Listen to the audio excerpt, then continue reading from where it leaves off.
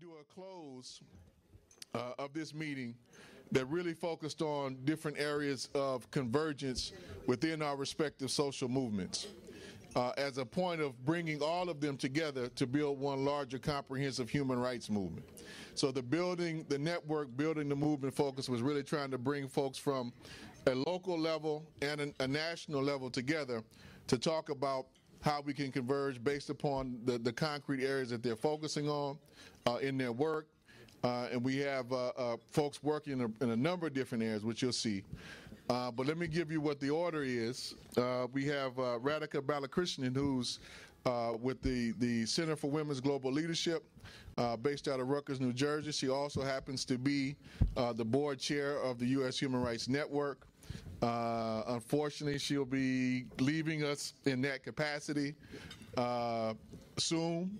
So, you know, I wanted folks to give her a hand as our board chair before she leaves and the work that she's done. Uh, next, we have following uh, Radhika, we're going to have Jamil Dakwar with the uh, ACLU. Uh, he's going to be talking, uh, well, I'll let Jamil talk about it, but really, a lot of the uh, state repression, the new forms of state repression, communities being targeted throughout the country, particularly post 9 11, and what that means for all of us, because it's not just some particular communities that are being impacted, but really all of us. Uh, then we're going to close out uh, with Carlos Montes uh, with the Committee to Stop FBI Repression, who's based here in Los Angeles. Uh, and uh, um, if many of you don't know, uh, Carlos has been uh, a central figure in a lot of the social movements here in LA for a long, long time. Uh, as a kid growing up here, um, you, you, learn a lot about, at least in the social circles that I was in, was fortunate to be, be brought up in. Hearing about the Panthers, as you saw the 41st and Central uh, film that we showed the other day. But there was also the Brown Berets, there was the, the Chicano Moratorium, uh, August 29th movement is one of the people that was central to all those different movements. So he's going to close us out uh, with that piece. I'm going to bring up Radhika first.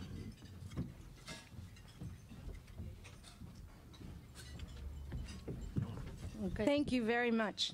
Um, I'm going to, uh, before uh, giving my remarks, I want to take the prerogative of being the board chair to thank the staff for an amazing job at this conference. And so I would like uh, Candace and Amy and Laura uh, to stand up and take a bow for.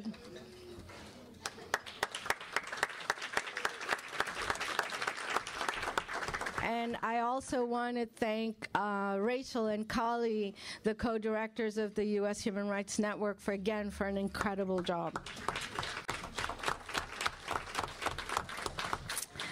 Um, in the in the time that uh, I have here, what I would like to speak about is um, some a scary word called macroeconomic policy, and why we as human rights activists and advocates and defenders need to look at economic policy and why that is an important part of our advocacy as we move forward.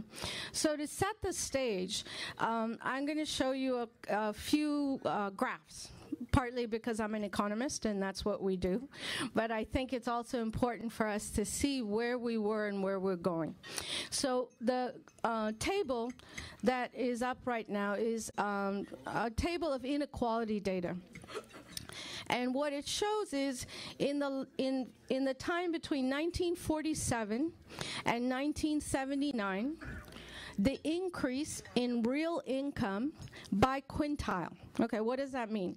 So in the last 30 years, the increase in real income for the bottom 20% in 1947 to 1979 went up by 118%, right? So the poorest 20%, their income went up by 118%. The second 20% went up by 100%, that's real income. Next 20%, 111, and we keep going up. And the top 5% went up by 86%. So in the time between 1947 and, and, and uh, 1979, everybody's real income went up, with the bottom 20%'s real income going up the most, and the top 5% going up as well, but proportionally the least, right? So those were the kind of economic policies that took place in that period of time. The next slide I'm going to show you is what happened from 1979 on. So from from 1979 to 2005, something happened. So the bottom 5% or the bottom 20%, their income went down by 1%, going up each quintile, right? The second 20% went up 9%. And then you look at the top 5% went up 81%. And that's the data till 2005. And if you look at it from 2005 to, to currently, that percentage actually even went further up. And the one number that I don't have a graph for here is that the top 1% went up the most right? So this one looks at the top 5%. If we were to break up that 5% into just 1%, the 1% you know, the, all the people in Occupy Wall Street are talking about the 1%. Well, that's the 1%. And that's what economic policy has been trying to do for the last 30 years. And so we as human rights activists and advocates need to start talking about what happened. What happened from 1947 to 1979? And what happened from 1979 till now? Something happened in economic policy. Um, but can we do the, I forgot what the next graph is. Go back. Okay, we'll leave the inequality. So, a couple of things that I want to focus on. Uh, one is how do we then take human rights to talk about macroeconomic policy? right? Because economists often talk about economic policy as something real that experts do, and that human rights is some kind of aspirational goal, like some place we want to be, but what do we have to say about economics? And I think that we are living in a time that if we don't have someone talking about the reason for economic policy being the fulfillment of human rights, then we, we need to stop talking because obviously the economic policy that we've had for the last 30 years in particular have not fulfilled human rights. And so how do we use human rights as an ethical framework to assess economic policy? And we I've done a, a, a lot of work which is available on the website of the Human Rights Network and other places, but I'll give you a couple of examples of where we can use human rights norms to talk about economic policy. One is is the obligation to protect. And this obligation that comes from the Maastricht Guidelines says that the government has an obligation to protect people living in that country against third party third party abuses. And it's often used as sort of um, protecting people against violation by employers. But I think that we need to use the argument of the obligation to protect in terms of the regulatory changes that took place that caused the financial crisis. And so when we talk about, you know, the financial crisis and all the banks that failed and the TARP and all of that, we that it was a deliberate act, right? I mean, the crisis when people talk about the crisis, they act as though I don't know, the skies opened up and then there was a crisis and the banks failed, uh, and that there was not some very deliberate policy measures that took place that that, what, what we've been calling the manufactured crisis. And so by looking at the regulatory changes that took place, especially the repeal of the Glass-Steagall Act and, and under Clinton and Larry Summers, that is what caused this crisis. And so how do we use human rights norms to talk about that kind of regulatory processes? You know, they always talk about deregulation and regulation. I would say there's no such thing as deregulation. It's just biased regulation. It's regulation that's in the interest of some and not in the interest of workers and, and families and communities. So one is the idea of the uh, of the um, obligation to protect. The second thing I want to talk about um, is this idea that government spending. I mean, there's so much debate right now in terms of deficit spending and debt, and both the Republicans and Democrats have taken on this we have to cut spending, we have to cut spending. And I would say that we need to change the discourse as to what government spending actually is. And so I, I title this, this as that the government is not a household. When people talk about the government spending too much money, they say, well, if you don't have any money, would you go buy a car? Right? That's the example. And of course, all of us would say, well, if you don't have any money, maybe you shouldn't buy a car. But the government is not a household. When the government spends money, it actually creates employment. And when it creates employment, it creates revenue. When it creates revenue, it gets to spend more money. And so, this idea that we can't spend money because the government is a household and why would you spend more money than you have is a problem in terms of the way it's being articulated. And it seems to have caught on to people's imagination that, yeah, we shouldn't spend money, we need to cut spending, we need to cut spending, and we can't increase revenue because that's some, you know rich people you can't they'll go somewhere. I don't know where they're going to go. It, between 19, 1947 and 1979 they didn't go anywhere. They were here right? So suddenly they're going to go somewhere, and I'm not sure where they're going to go. so let's increase those taxes and start spending money because spending money is what's going to generate jobs, it's going to generate revenue, and it's going to provide for economic and social rights, which are being cut drastically by the minute. Now, the last thing I want to talk about, which is people uh, don't usually talk about uh, monetary policy and and, and uh, human rights, but this is a number I want all of you to not forget when you leave here, because this is not a number that is in our newspapers. There's a certain amount of money that commercial banks keep at the Federal Reserve.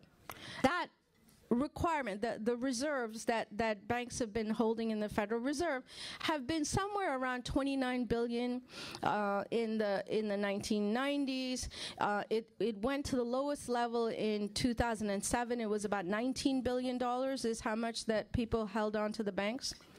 Look what happens from 2007. So the reserve, the, the, that line is what it's been like for the last 10 years. Suddenly, that amount of money that commercial banks are holding in the Federal Reserve is now $1.6 trillion.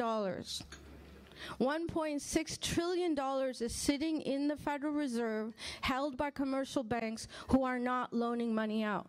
And so when we talk about the fact that there's no money out there and we have to cut spending and we have to do all of this, the Federal Reserve has what they call it quantitative easing. They've handed over this money to commercial banks with no restrictions on whether they should spend it. And so one of the things that I would argue, as we, as, as Kali said, this is a move forward, is that all of us human human rights activ- activists and advocates need to call the, the Federal Reserve on not spending money. They need to make these banks spend their money. I don't know if anyone's recently tried to get a mortgage. It's impossible. Uh, they don't let you do it. And so the and and while they're holding on to one 1.6 trillion dollars, not doing their job, they're getting bonuses because they say that they're doing their job. So, in terms of moving forward, my plea is let's take on the macroeconomic policy of this country. Thank you.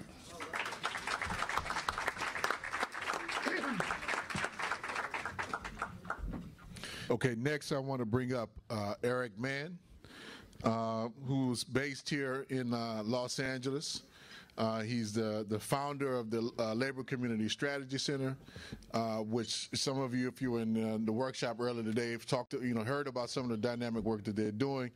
The Flagstaff, uh, if you will, is the, the bus riders unions, which has had a national impact. I know uh, some of the folks who are in the network, particularly the what used to be Atlanta Jobs with Justice, uh, also started a bus riders union uh, some years ago that they're working out of. But the model and the precedent around that and fighting for the transformation of, of uh, public transportation into a human right is some of the innovative work that they're doing. Just to give you an example of, Eric is also uh, a very prolific writer, and I know we've used a lot of his stuff over the course of some time uh, in these study groups. And he's got a, a, a, new piece that he just put out that we're trying to do some uh, uh, study group stuff with. I know a couple of folks out of the Occupy movement in Atlanta, actually. So just to give you a little sense of who he is, I'm going to bring Eric up.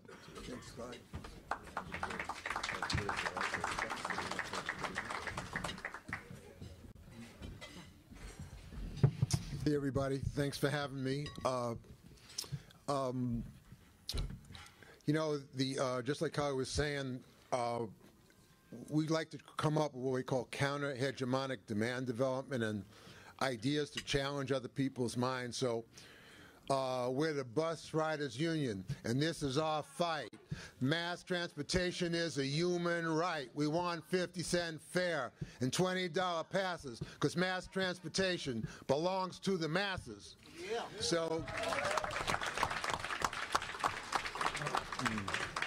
and that was Barbara Lott Holland, the co-chair of the bus riders union in the back, my partner.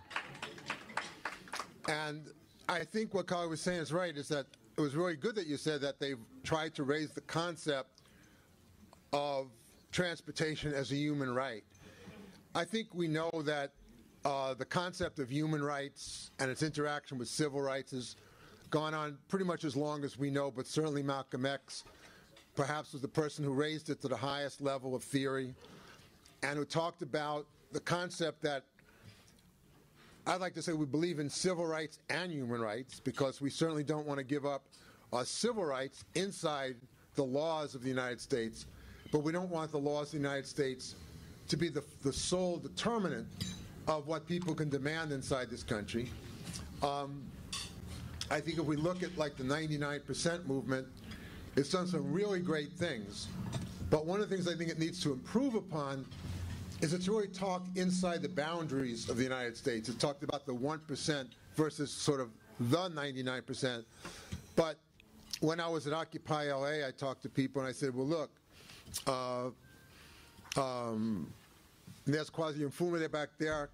Nkrumah has been helping me, and he's also played a tremendous role in Occupy LA, and he and I were talking about it, is when we talk about ending the war in Afghanistan and ending the war in Iraq, I think we know that there is no U.S. withdrawal from Iraq, that the, uh, the United States Embassy in Iraq is larger than some cities. It's a permanent base of occupation. There's 100,000 mercenaries still in Iraq. And what I learned is that to show you how they constantly try to get around the rules, the State Department, for the first time ever, has developed its own troops. So now there's this concept where there are 6,000 armed members of the State Department in Iraq. So as fast as we try to restrict how our government operates, they constantly uh, reconfigure the debate. We have to talk about, and again, talking to the people at Occupy LA, that there's 14 million immigrants in this country, all of whom deserve um, amnesty and the option of citizenship it's very interesting because I think what I want to talk about today is the question of framing the terms of the debate. Why Malcolm was so important on the issue of human rights, not just civil rights. Um, if you look at most of the immigrant rights groups today, they're very stuck in this concept of comprehensive immigration reform. And first of all, that has no moral value. I mean, how can you organize people? Hey, I'd like to talk to you, go door to door. Are you interested in comprehensive immigration reform? Who even knows what it is, let alone wants to fight for it? So it's interesting to watch the way people get stuck inside the arguments of the government because comprehensive immigration reform means, first of all, a border that's militarized, and then theoretically some road to citizenship, plus uh, uh, registration, plus admitting criminal, being criminal. So this is a horrible idea, and whatever happened to the idea of amnesty? So the word amnesty has almost been thrown out of the debate, and we have to bring it back into the debate as the main argument that I think we want to make, which is no human being is illegal. I didn't cross the border, the border crossed me. All the things that we've done in the civil rights and human rights mo movement to change the terms of the debate. If we argue on the other side's argument, we can never win. The Strategy Center developed this idea of fight transit racism. Now, you may think, God, in the 60s, that would have been so modest. But in the 90s, you have no idea how shaken up people were by the concept of fight transit racism. Why? Because at the time we sued the Los Angeles MTA, the CEO, Franklin White, was African American. The uh, on the board was Gloria Molina, the first Latina to get elected to the county supervisors. Richard Alatorre, a, a Latino civil right, um, not civil, a, a Latino city councilman. And so we were already stuck in the world of post-racialism, which is this is no time to talk about racism. And a lot of white people gave me advice, like gave the Strategy Center advice. Why do you need to talk about fight transit racism? Why don't you just talk about better bus service for everybody? Well, we want better bus service for everybody, but fight transit racism is a way to articulate that 94% of the bus riders are people of color, is phenomenally racist for people to be late to work, stuck on a bus with 40 people sitting and 40 people standing. So again, the argument is even when I was negotiating with the head of the MTA and he was about to give us a thousand new buses through our civil rights suit, he said, Would it be possible to stop talking about racism? And I realized that that was very important to him in terms of one of the things that we had raised is he was trying to he was giving us a thousand buses and all he wanted us to do is stop talking about racism. And I, and the other thing he says, would you stop sitting in all the time? So I realized, well, when your opponent tells you the two things he wants you to get rid of is stop talking about racism and stop sitting in, I went, okay, those are two great things we're doing, right? So no, I'm not giving you that, of course. In fact, we'll do it more. Now, um, today we're in a very difficult situation. Speaking for myself, I was a militant advocate for the election of Barack Obama to, to be president. And um, we could have that debate, uh, but any good speaker is trying to raise the terms of debate. I thought it was very important, and still do, to elect the first African American president. I thought it was a united front against the right to defeat McCain, Bush, Cheney, all those folks. I think we've seen the phenomenal disaster of the Obama presidency and some really frightening things that have been brought to bear under his aegis. But what I think was also important, saying things, is that that broad coalition that elected Obama, in my opinion, was number one, anti racist, number two, thought it was in the United Front against the right, thought this was an anti-war president, thought that they were going to fight for Wall, uh, Main Street against Wall Street. And what's important about that is not how much people were fooled, but how much people who worked for him thought that that's what they were fighting for, indicating that we had a coalition that we wanted to be part of. Now, I think what's happening now in the country is, is very dangerous, and I want to talk about the optimism. Um, the Occupy people have done a really brilliant thing, which we keep talking about them, but they have changed the terms of debate. By raising the 1% against the 99%, in some way they've confused the issue because, well, up at the 97%, 96%, 95%, 94%, there are people of enormous wealth and power. But what they've raised as a concept is that there's a ruling class in this country. Because the 1% is not just based on wealth, it's based on power. And what they've argued is you can be very, very rich in this country, but you still don't have power. And that there is a class structure to the United States. A guy named Professor Lakoff, I don't know, anybody heard of him, George Lakoff? Yeah. They, well, he's been doing a lot of work around the so-called shifting the terms of the debate. And to share with you something that's just some new thoughts in my head, I don't agree with him. Because I just read an article that he wrote giving advice to the movement about how to shift the terms of the debate. And one of the things he said in this recent article is you have to stop talking about capitalism. I mean that. He said because capitalism gets people thinking about socialism. I mean, this is word for word. This is word for word. And I know that's what I'm saying, brother. And no, this is his argument. And socialism gets people to think about what? Communism. So we don't want to. So check this out. We don't want to talk about capitalism because it might lead us to talk about socialism, which might lead us to talk about communism. So you know what he propose? Propose instead, the market must work for all of us. That's his radical concept of shifting the terms of the debate. Well, first of all, a market is inherently incapable of working for all of us. A market, by its very nature, is not just amoral, but immoral.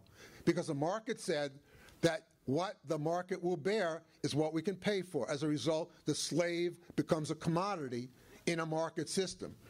an undocumented worker is a commodity in a market system. How in the world is the undocumented worker ever going to have enough capital to operate in a market system to take on Goldman Sachs. It's such a fraud about a market for all of us to make the system inclusive just at the time when Occupy uh, America, Occupy Wall Street has finally said there is no market for all of us. The market is by itself dominated by the capitalist, yes, the capitalist, who might lead us to think about socialism because instead of thinking about an instant move to socialism and debating all the debates about socialism, it's important to understand that if we regulate corporations, they call it socialism, and I would say no, but I think it's a step in the right direction rather than being ashamed of it. If, in fact, we have guaranteed income for everybody. That's not socialism, but certainly that's a move in the direction of socialism against free market capitalism. If we get out of Afghanistan, if we in fact cut the military budget by 50% from 700 billion to 350 billion, is that socialism? No. But is that a movement in the direction of a socialist society as opposed to a warfare society? Yes, it is. So one of the things I've been realizing about this is just like when the head of the MTA told me not to talk about racism, I haven't been talking about socialism in a long time until George Lakoff told me not to. And as soon as he told me not to in his article, I realized, you know what? I have not been talking about socialism enough. I mean that. And I'm going to start talking about it more. So, um, thanks a lot for having me. Um, the last thing is uh, every author. I've written a new book called Playbook for Progressives 16 Qualities of the Successful Organizer. I would love you all to have a copy. I have 18 copies here. They're $15 each. All the money goes to the Strategy Center. But there's a uh, what I did was I took the qualities of successful organizers and I raised it to a theory, and then I tried to figure out who would be a great character in my movie. So the first quality, the first job description of the organizer is called the foot soldier. Wakes up in the morning, goes out on the street, goes out on the block, goes out on the bus. And who did I pick? But Saladin Muhammad, because he is one of the great foot soldiers of our generation. It tells the story about the initiation of black workers for justice, about the Kmart struggle, about the incredible work he did. I don't know if you know, being a janitor on the night shift and using that job to get into um, five different black factories he organized, you know, in terms of strategic um, situation. Anybody see the, the film? Remember the film, The Spook Who Sat by the Door? And you remember one of their tricks? He said, a black man with a mop and pail can get in anywhere. And that's how he got into the White House. So, so this is a great book. I urge you to get a copy of it. I'm honored to be part of this. I'm honored to be Carlos Montes, who's fought so hard for us. And thanks a lot for having me.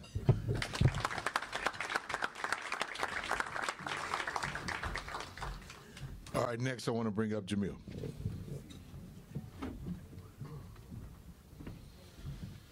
Hello, everyone. Uh, I am speaking about uh, books. Uh, I don't have my own book, uh, but I want to make uh, promote uh, Radhika's book. She she forgot to tell you about her book.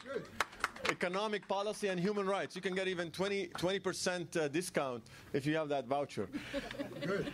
Uh, but I'm really honored and thank you uh, for the U.S. Human Rights Network uh, for uh, inviting us to uh, to be part of this panel. We feel very honored to be with the with the speakers and the and the seasoned advocates and, and human rights advocates in, in, in, in this part of, uh, of the country. And also, I want to thank uh, the staff uh, of the network and particularly the co-directors for, for their hard work over the transitional period. I think that uh, uh, we all uh, wish the network and we continue to, to support the network in the next phase with the new leader coming in. I also want to recognize my colleague Chandra Bhatnagar and his leadership on a lot of the, this work um, particularly was one of the uh, the founders of the of the people who were uh, in the first very first group that convened in Howard and kind of talked about uh, human rights in the United States and, and building the movement. So uh, thank you, Chandra, for all this work. what I want to talk about uh, and use my uh, 10 minutes or so is to really think about the where we are right now with with the situation of human rights in this country. And I think I want to use some of the terminology that's often used to talk about the economic situation, but I want to really try to connect things that, again, things that we discussed over the past two years and how we really can uh, build uh, the movement that have uh, real accountability for human rights. And I think the real serious crisis is that there is accountability deficit uh, in the country, and particularly in the area of human rights. And, and, and that is uh, kind of a, a, a, theme that, that you see it uh, almost everywhere in, in this country. the economic crisis and the meltdown. I will the economic meltdown uh, and the, the banking system and the way that uh, people who were responsible for, for, the, for uh, the, the breakdown in the, uh, in the economic uh, situation, particularly people's uh, lives being ruined, people losing their homes, people losing their jobs. And yet, we have not seen real accountability on Wall Street. And I think that is what uh, the Occupy movement is doing. It is an ac- accountability movement in the first place.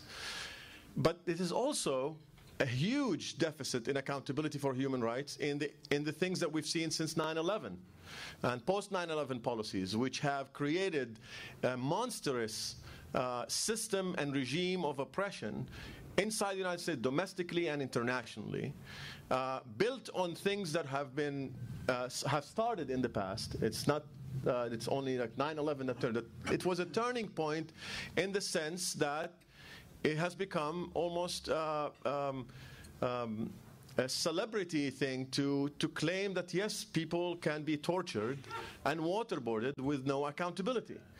And you have former leaders of this country write memoirs, go on talk shows, brag about their responsibility for torture. And that essentially one of the things that uh, as an organization, as the ACLU, we've been from day one uh, with other groups like CCR and other uh, important organizations, been trying very hard to, to not to, to lose sight of what's been happening since 9/11, and particularly not to lose sight of the fact that not a single person has been held in the leadership military and civilian leadership of the country, not a single individual has been held accountable for crimes, war crimes, the crime of torture, disappearance, secret detention facilities, and, and some of the, these policies, unfortunately, not only that they were not uh, stopped when Obama took office, but some of them, unfortunately, con- were continued and expanded. The targeted killings program is one of those programs. Well, you know, we, we, we no longer can hold people in secret detention overseas. We can't torture people according to, to the executive order that Obama signed on the, his next second day in office. But we can kill people even if they are not on the battlefield. Right. Even if they are walking around and we're not really sure whether they had uh, any relationship to, uh, to taking a direct participation, what we call in the legal jargon, uh, being, taking direct part in hostilities against the United States on the battlefield. So all of a sudden you create this notion that the war is everywhere. Uh, it could be here in your even even according to Congress in the past couple of weeks, for people who are following that, even here in the United States, the military can detain American citizens uh, without charge indefinitely. Uh, and that is something that has been built up through the post 9 11 regime, and yet no accountability for even that. The other thing I want to touch on is the issue of uh, how do you really, how is it possible for a democracy to be sustainable? Um, without real accountability for human rights. It has to be either fake democracy or unsustainable democracy if you don't have real accountability for human rights. And that is something that really uh, the US government has, uh, for many, many years, created this illusion that US is in fact the ultimate uh, uh leader on human rights and uh, especially in the minds of people around the world. Uh, and I think that that that image, where this is our greater challenge. Yes, the United States government is championing some human rights issues, no doubt about that, and we will we will recognize some of those uh, issues. But at the same time, it had created exceptions and have neglected and ignored to embrace certain human rights and completely abandoned uh, the, the promise that was made, at least the promise that was uh, rhetorically and, and was uh, made in, in, before the United Nations in 1945, when uh, we're here in San Francisco, uh, we had 50 governments coming together uh, to build the United Nations, among other things, in order to promote and protect human rights. And that led to the creation of this notion that you can create exceptions. We've seen that uh, in the different policies, whether you take people to Guantanamo and say the Geneva Conventions are not applicable, whether you take people and put them in prison and you say you demonize them and you say, well, you can, they can be locked up 23 hours a day um, and be subject to solitary confinement. You can do that in the context of immigration where you treat people illegal uh, human beings and no one cares what really happens. You can do that in a multiple ways, and we see that. And obviously, there's a long history of that. Not seeing the indigenous communities and their um, uh, uh, connection to this place before anyone even thought about this place. The notion that you really can take people and tell them it, either you are um, you are outside uh, the, the concept of human humanity at all. Strip them of their humanity. And some people believe that if you're a citizen, you're better off. But the truth is, if you're a citizen, you're not really better off. Depending on what group you belong to, what are the political circumstances you're under? And the Muslim Americans, after 9 11, realized that. African Americans realized that a long time ago. Other communities have learned these lessons for years, and yet we see that come back again and again. The role of the network must continue in terms of uh, building the movement, uh, public education around human rights, connecting the different organizations, and, and, and uh, whether it's a community-based organizations, which is a level of advocacy organizations, or just building a movement for human rights. But at the same time, it has the role of identifying those strategic opportunities to expand the notion of accountability for human rights. We've discussed some of those uh, ideas over the past couple of days, and there are some good ideas. The staff of the network, the people who worked really hard on presenting them to us. And I think what we really want to do, we, we have to be prepared for starting uh, a real conversation about human rights in this country and take advantage of every resource, everything that is available to our means in order to make sure that there is a, a leadership uh, in the communities and in the different organizations that people will come up with some sort of an I have a human rights dream. Thank you.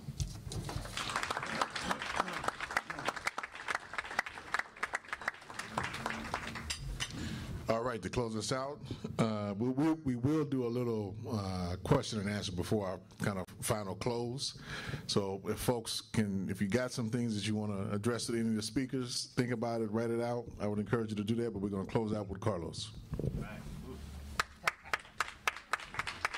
Thank you very much. I'm the closer. Huh? I told let me go let me go last so I could see what everybody else is going to say and I could contribute what I have, right? Well, you know, there's a, lot for me to talk about, you know, and usually when, before I talk to a group, I like to know who's in the audience, get to know the audience, what's up, you know, where you're from. So, yeah, any Chicanos in the house, first of all? Let, us see. Come on, come on. We got one. No Chicanos in the house, or nobody wants to admit it. You know, any Latinos in the house? Any Latinos? You know, a couple. All right. Okay. Any Colombianos? Cubanos? so, uh, you know, my name is Carlos Montes. Uh, just, uh, you know, uh, my parents brought me from Mexico as a little kid, so I grew up in South LA and East LA, right? And um, let me do a shout out here. Uh, when the people are under attack, what do we do? Stand up. Right. When the people are under attack, what do we do? Stand up, fight back. Right. And, and Bilal, and he's fighting back, taking over the old ramparts uh, uh, police station, right? I think what I have to say about the, uh, just in terms of introduction to the Occupy uh, Wall Street movement, I've been to Occupy Wall Street. You know, I marched from uh, downtown to uptown in a, in a march, and also Occupy LA. That it's not only, uh, you know, to use some of the words that change the debate, I like to say that it's really put the Pandora's box. It opened up the Pandora's box for the U.S. economic crisis, right? That even young uh, student white folks are talking about the economic crisis and capitalism, right? But what I think it's also done, it's it put out the the the uh, the challenge that it's not about, about regulating capitalism or taxing the rich. I had one young white guy with a master's degree in economics was telling me about regulating or taxing the rich so we could lower the deficit, blah, blah, blah. And I said, you know, let's start talking about something different. Why do we have to have rich people? I said, why does it have to be a class society? I told him, why don't we, instead of taxing the rich, let me throw something out. Since this is like General Assembly time, why don't we just axe the rich? You know what I mean? I said, well, you know, let's talk about that. And I, I think, I think what the Occupy movement has done is, is really uh, centered at the fact that we have super rich, you know, monopoly capitalists. You know, I'm from the '60s. These are the monopoly capitalists that control the wealth of this country, that go around and plunder the whole world. So we've got to challenge and put them on check. That it's not about regulating. We can't regulate this crisis. We can't regulate capitalism. We got to get rid of it. Okay? You know, I mean, any of you, any of you with me on that, right? So the, so the question is, you know, about building the moon. How do we do that? And all many of you have been trying to do it, or we've been doing it for many years, right? I, I see a lot of faces out there that I haven't seen. You know, Wave, I me, I haven't seen you since the 60s, 70s, quad. Some of you see you last week. How do we do that? So the question is, how do we do that? How do we build a movement? And, and who do we unite with? You know, because Tony talked, told me about talking about building unity, talking about building the movement. And I think we build the movement by uniting with folks who are in struggle. And I want to give you a couple of examples in my upbringing. I learned about building a movement and uniting when Bunchy Carter and John Huggins came from South LA to East LA to the Brown Beret office and talked to us about building black and brown unity, the Black Panthers and the Brown Berets. And even though there were some Brown Berets who had that racism, who had grown up in the East LA ghetto, never worked with blacks, were against it. And when we went to South LA to the Black Panther Party to work with them, there were some blacks. What are them essays doing here? And you, know how many? And just to, just for the record, how many of you know who Bunchy Carter John Huggins is? And those of you don't know, you know, I wanted to share. You know, of course, they were assassinated, but you know, it taught me the the the, the important issue of, of building unity, not only a racist, but among poor working class youth, right? Another example I want to turn out, the building movement, building unity, when Harry Haywood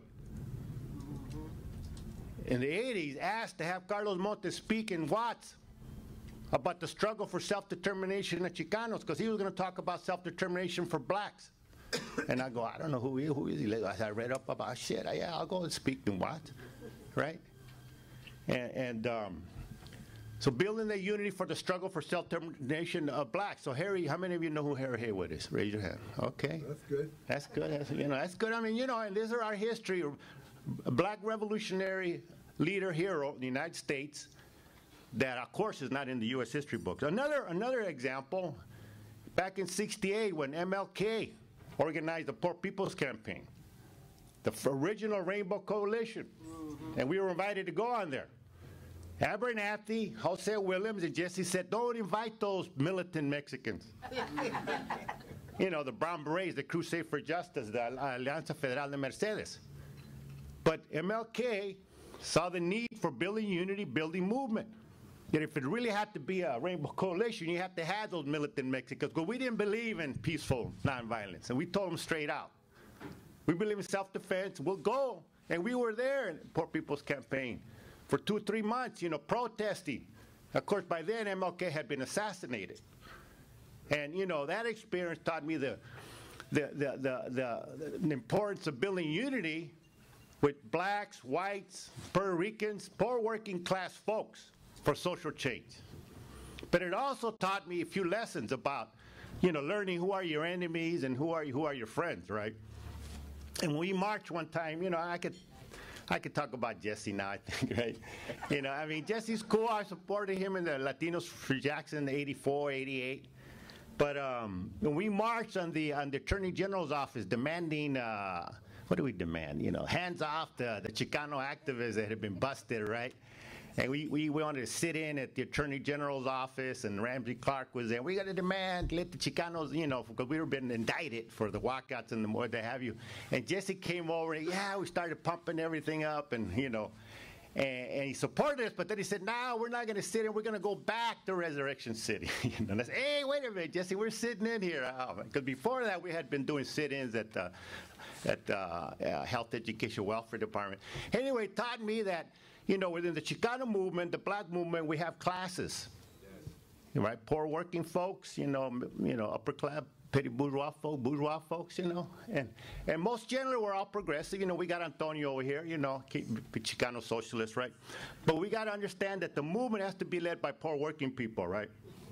And uh, we are in the class, right? All right, all right. Let's hear it for that. Poor working people, which you are, you work with, and you organize, right? And uh, so I, I think the other theme in terms of human rights, the U.S is the biggest violator in the world of human rights. Straight up. All this bullshit about Cuba and Libya and everywhere else, it's a bunch of bullshit. They've killed more people, bombed more people than anybody in the history of the human race. Right? And we just and, and, and I've traveled to Colombia and I've traveled to Cuba and Mexico, right? So we're in the middle of a class war, and the repression that is being unleashed right now is primarily against the oppressed nationalities, which is blacks. Killing you, killing us, jailing us, and Mexicans and Central Americans. The immigration attack. Can I ask for more minutes? A couple of more minutes? Give me more minutes, okay. and, eh, eh, and, is that okay with everybody? A couple more. Hey, hey, hey, I'm getting warmed up here. Okay. So, so we're in the middle of a class war against all working people, right? And the U.S. is in a war against the people of the world, right? But particularly in the U.S., unless we acknowledge that blacks and black and brown people are facing the brunt of this attack. All we got to look is the immigration situation, and you all know about it, especially with the so-called Polimigra S-Comm, right? And by the way, the other part about building the unity and building the movement is having you all come out yesterday to march with us to jam Obama and Baca. Yeah, you all, how many of you were there? I know you were all busy there. You cannot go, you're right. Like in the middle of your conference, you got on a bus, went over there, Marty came back. And that was great. So thank you for being there and jamming Baca. So what Secure Community, so-called S-Comm, is doing is uh, detaining and deporting thousands of working class, poor working class, uh, primarily Mexicano, Central America. If you look at the numbers, 90% of the deportation are Latino, and of those, 80% are Mexican. So we're facing extreme national oppression. It's national oppression. It ain't discrimination. It's the oppression of a people, right? And that's why we call it, oh, oh, you know, I say I came up with a new term now, Obaca. Obama, you know, Obama, escucha, estamos en la lucha de, en, en Baca, that sellout fool, the sheriff of LA County, is an advocate of so-called secure community. We called his ass on it. We're going to be marching at another speech next week. So thank you for coming yesterday, right? There was a second time. We know since 9-11, the FBI and the federal repressive apparatus has been attacking Palestinians, Arabs, and Muslims and jailing them for the last 10 years, right? Mm-hmm. And now they're coming after the Mexicans and the blacks, but especially they're coming after anti-war activists and solidarity activists who have gone to Africa, to Asia, to Colombia, to Iraq, to Palestine. My homeboy Hatem and my homegirl Ann went to Palestine in jail and interviewed the Palestinian prisoners and wrote about it in the newspaper Fight Back. And you got stack of Fight Backs, right? The Fight Back News online. And we put it on there. Jess Sundin, 10 years ago, went to the mountains of Colombia and visited with the FARC. How many of you know what the FARC is? Fuerzas Armadas Revolucionarias de Colombia. Now, this is when the FARC was in peace negotiations with the Pastrana, Pastrana regime. Before the U.S. State Department put them on the terrorist list. And by the way, I'm on that list now. I mean, you know, now, you know, yeah, you're out. Wait a minute, wait a minute. so my point here is that working class activists, anti-war activists, are being attacked by the FBI, accusing, including myself, of course, and, and if you look at the warrant that they used at the anti-war committee in Minnesota, they put in their uh, investigation for, for providing material support to the PFLP and the FARC. How many of you know who the PFLP is? The PFLP. Come on, come on, man. Tell, tell them what it is. Popular Front for the Liberation of Palestine. Right, right. Now, 95% of the probably the Palestinian groups fighting for human rights are probably on the so-called terrorist list, which is bullshit, right? So let me let me kind of wrap it up here. And my point is that this state repression against working people and, and, against the world. I don't have to give you the examples of Libya, Iraq, Afghanistan, and the Plan Merida in Mexico. The millions of dollars that are given to the, the, the, Mexican government, to the army to kill its own people. I can't even go back to my hometown, Juarez, where I was raised. Because of the assassinations of human rights activists. And when I was in Colombia, I met with human rights activists, Afro-Colombianos, who have been displaced from their land, campesinos who fought for their land, who are being kidnapped and assassinated, labor organizers from coal industry, Coca-Cola, the oil industry, who are killed and assassinated. Some of them are here now, United Steelworkers. I love them because they bring them here and help us survive. When I came back to the U.S., when we came back from Palestine, we denounced human rights violations. We talked about it in everywhere we could. You know, uh, uh, when I talk about we, I'm talking about the Colombia Action Network, Palestine Solidarity Group, Freedom Road Socialist Organization, Fight Back News, and all our members and activists are union rank and file members. They're gay activists. They're anti-war activists. We are janitors. We're an SEIU. We're in the Teamsters for Democratic Society. We are rank and file fighters. And we take this message of U.S. that denounce U.S. imperialism in Palestine and Colombia to the working class, right? Are you with me on that? Yes. And that's why they're attacking us. Because we led the big ass march at the Republican Convention 2001. We denounced the warmongers, right? Bush McCain, we had war with them on the street till they finally put out the snow, the snow plows on us, all right? And, and, arrested us and dispersed us. And it infiltrated, the FBI infiltrated the anti-war committee in Minnesota. They infiltrated us for two years investigating us to see if we're providing material support for terrorist organizations, which we're not. We ain't stupid to do that, to give them arms and money. We do solidarity work. Solidarity is not a crime. So we fight here and organize the struggle here at home, but we express solidarity I learned that at East LA in a high school where they try to recruit me to join the army. That the Vietnamese people are not our enemy. And I learned not only from the black liberation movement and, and the Vietnamese people, it's a struggle for liberation that we need to fight here at home and support the liberation struggles abroad. And right now the struggle is in Palestine, in Colombia, in Mexico. And by expressing solidarity, a federal grand jury out of Chicago is investigating us for being so-called providing material support, which is the total bullshit. So we're under attack. I'm under attack. 23 of the activists were, were, were raided at their homes. They took their computers, their cell phones, their iPads, all the documents. Joe, Joe and Stephanie home there. The FBI was in their house for over eight hours, taking tons of documents. Stephanie is a fighter for Puerto Rican rights in the barrios of Chicago. Joe is a eh, eh, rank and file SEIU member. They're under attack. they're being investigated for providing material support to terrorist organizations. I was raided at my house May the 17th of this year. They busted the door down.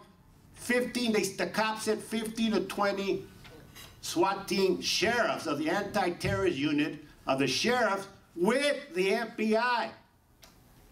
Busted the door down at 5 o'clock in the morning, arrested my ass, you know, of course. I had guns, hell yeah, I had guns. I believe self-defense. But you know, I mean, you know, I, I, I had a gun by my bed, loaded Beretta 9 millimeter. You know, it was registered legal. I have gun, I have registered legal gun that I bought over the years. What, I, what would have happened if I had picked it up? Right? You know, I, I heard, bam, they broke the door down. What the hell is it? The cops. You know, I get up, I go, fuck, man. this is it, you know. As an activist, you know, you always have in the back of the mind, and one day they're going to come for our ass, right? You know, like Gil Scott Heron said, what did he say? Wake up, LA Valley. Come on, man. Don't sleep in my thing. I need to get there. But you were, um, he said, no knock. The no knock law. They ain't going to knock. They didn't knock on my door. They busted it down, right? If I had even gone for my cell phone or my wallet, I would have been dead. They kill people in the street just for going for their cell phone. They do it every every day, not every month. Uh, blacks and Chicanos are killed. So let me kind of wrap it up. I'm sorry I went too long, but but you know we're under attack. So I'm here to ask for your support, not just of me or the movement of the of the, of the Chicanos, Mexicanos, African Americans that are under back. You're doing great work. You're organizing. You know I don't know all, that you do, but there, there, there, I have a flyer right there in the back, this one, bilingual flyer, stopfbi.net. You can sign the petition. You could do a letter of solidarity from your organization. Many of you have already have. We have uh, a whole resolution from the uh, Illinois State Council of SEIU that did a resolution. We have AFSCME. We have the Chicago Teachers Union, the UTLA here, and the California Faculty Association are doing resolution. I need your support because if they get us, they're going to come after your ass. Right, yeah. In the 60s, they called us troublemakers, drug addicts, hippies, communists. Now they're calling us terrorists. We're not terrorists. We're in solidarity with the people of the world that this government is killing and oppressing. And it's okay to say imperialism. Yeah. Don't say globalization or neoliberal, blah, blah, blah. It's U.S. imperialism.